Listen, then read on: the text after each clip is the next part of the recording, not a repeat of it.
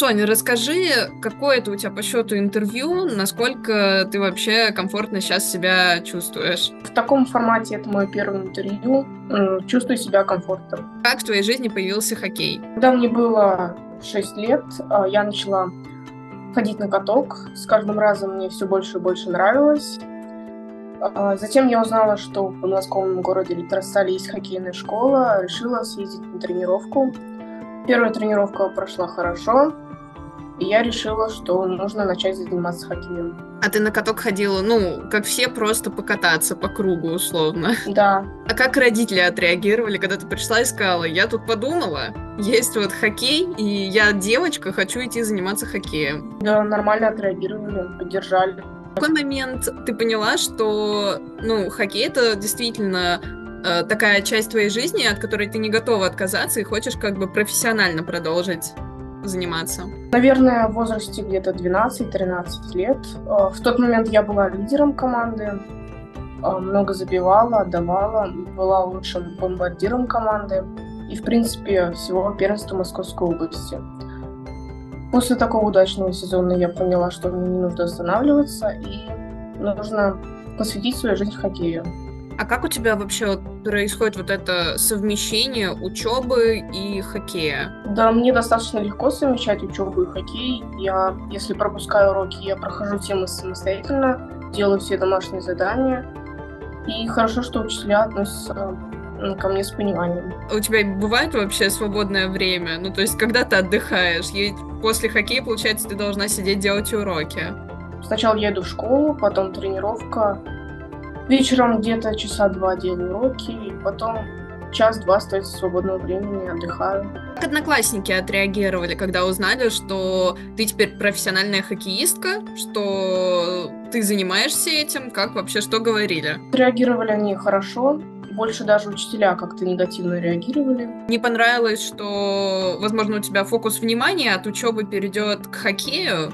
50 на 50 кто-то считал, что это просто не женский вид спорта, а кто-то все-таки из учебы, то, что я больше как, ну, больше хоккеем стал уделять внимание хоккею, чем учебе. Как попала в профессиональную команду, когда это произошло?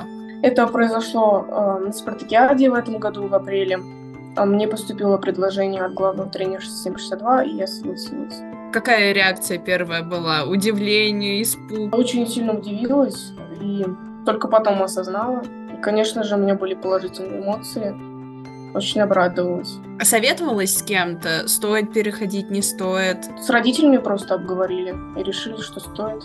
Насколько тяжело адаптироваться вот уже в профессиональном хоккее, насколько там другие нагрузки, какие-то другие, может, взаимоотношения в коллективе. Ну, как у тебя это все было? Насчет коллектива я достаточно легко адаптировалась, так как большинство коллектива мне было уже знакомо, и тренерский штаб тоже. А насчет именно хоккея и тренировок очень сильно отличаются от мальчиков. У мальчиков больше на скорость, на силу, а здесь больше работают над тактическими действиями.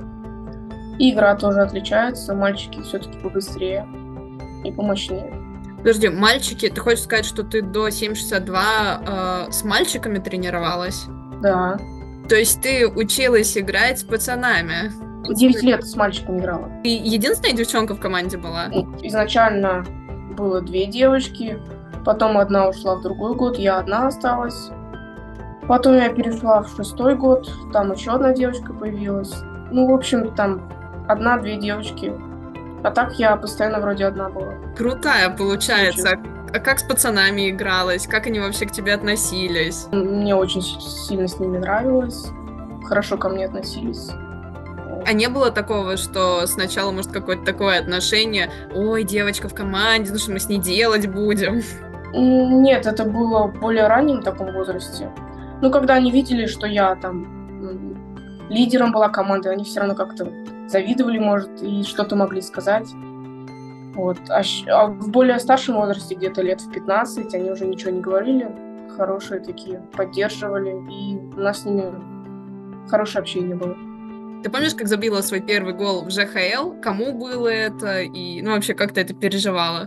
Да, я помню, это было 27 э, ноября, игра с «Динамо Невой». Я обвела защитника, забила гол между ног, Успела вообще осознать, что произошло? Или это ну, на таком кураже происходит, что потом только уже после матча успеваешь подумать? После матча только осознала, что смогла забить два гола. Вообще сначала не верила, что я смогла это сделать. Вот. После матча много было положительных эмоций. Много девочек поздравляли, тренерский штаб тоже.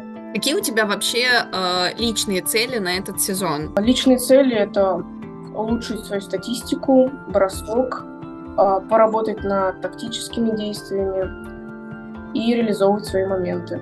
Командные, то есть что говорят э, тренеры, чего не ждут от вас? Нам не хватает реализации, цепляться за свои моменты, меньше удаляться и, конечно же, выигрывать побольше. Ну и глобально, какая у тебя вообще цель в хоккее, к чему ты стремишься? Попасть на Олимпиаду и выиграть золото.